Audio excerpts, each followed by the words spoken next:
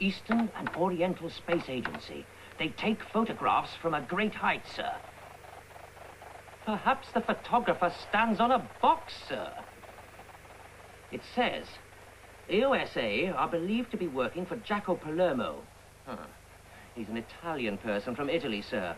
Also known as Turkish Delight. No, sir. Italy's known as Italy. It is Jaco Palermo that is known as Turkish Delight. I have a picture of him here, sir. Hmm. Friend Palermo has one of the biggest stolen art collections in the world, sir.